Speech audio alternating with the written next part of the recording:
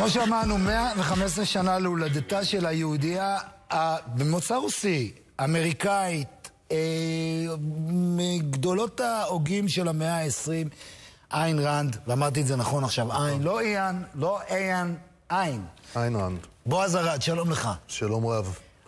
אה, מרכז איין רנד בישראל. בוא תסביר לנו למה האישה הזאת, שוב, שנולדה ברוסיה, חייתה בזמן המהפכה, הגיעה כן. לאמריקה? 1905 איין רנד נולדת ברוסיה כעליזה רוזנבאום, למשפחת רוזנבאום, אבא רוקח, חווה את המהפכה הקומוניסטית מבינה על בשרה היטב היטב על מה מדובר כשהמשפחה מוגלה ומפקיעים את הרכוש וכולי, ומצליחה אבל להגיע אחרי תקופה של לימודים באוניברסיטת סנט פטרבורג, שבהם היא לומדת גם על הדיכוי והתיאורים שם של האנקוודה.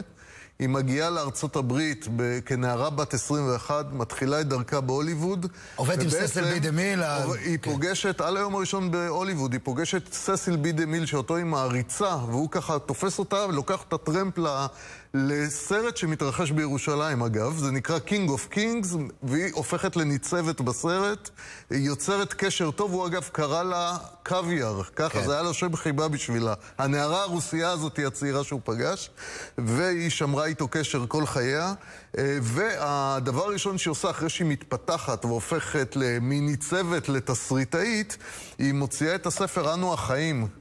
שהיום אי אפשר להשיג אותו בארץ, אבל זה בעבודה להוצאה מחודשת שלו. ולאחר אנו החיים מוציאה את קמיין המתגבר שהופך אותה כבר לאישה עשירה מוכרת, זה כבר הופך לרב-מכר.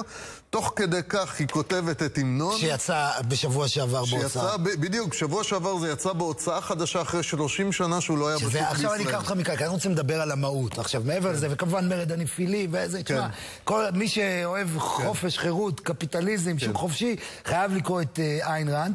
אבל אה, לספר הוא בהוצאת אנוכי. אנוכי. עכשיו, למה אנוכי? כי הגישה שלה לקפיטליזם היא שונה כן. מהקלוויניסט, שונה מהנצרות הקלוויניסטית שיוצרת כן. את הקפיטליזם.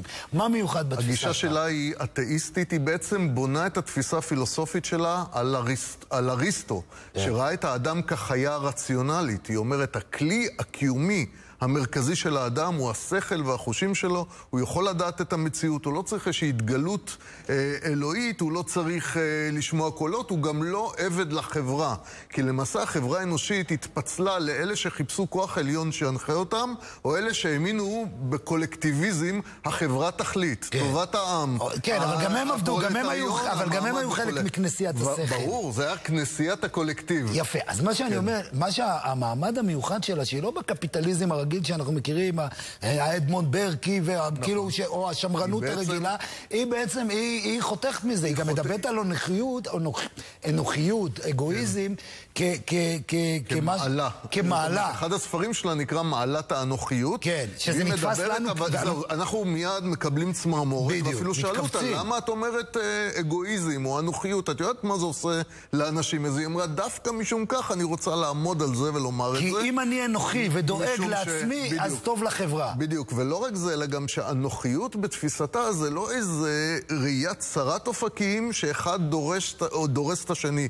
להפך, אני עובד במש... במסגרת יחסי ווין ווין, במסגרת מסחר. היא בעצם לוקחת, האם יכול אפשר לומר שהיא לוקחת את אדם סמית ואת. ואת התפיסה שלו ומעבירה אותו נכון. אינדיבידואליזציה? היא בעצם, היא בעצם מנקה את האלמנט הנוצרי של אדם כן. סמית. כי למשל, אדם סמית, שהוא דיבר, האופה אופה רק בשביל uh, האינטרס שלו, אבל יוצא מזה טוב, כן. כאילו זה רע האינטרס כן. שלו. והיא, אומר, והיא מנקה את השולחן מהסיפור הזה, באמת האינטרס זה שהיא מוכרת... האינטרס שלו לגמרי עולה בקנה אחד עם שיתוף פעולה בין כל שני אנשים. יצרנים שמשתפים פעולה, שניהם מרוויחים. היום, היום, היום למי משמשת כרול מודל? אני נניח, אני מניח שיש לליברטריאנים יותר, יותר מאשר לשמרנים רגילים. תראה, תראה אנחנו מדברים על אמריקה, אבל גם, היא מגיעה גם לכאן. תראה, האמת היא שההשפעה שלה מאוד רחבה, ורואים אותה גם באקדמיה וגם בפוליטיקה, ויש, אה, פול... יש, היה בצוות של מרגרט תאצ'ר אנשים שמאוד אהבו את איין ראנד, ויש היום גם בפוליטיקה הישראלית אנשים שאוהבים ברור. את איין ראנד, ויש, אה, אתה יכול למצוא אותם בכל מקום, אה,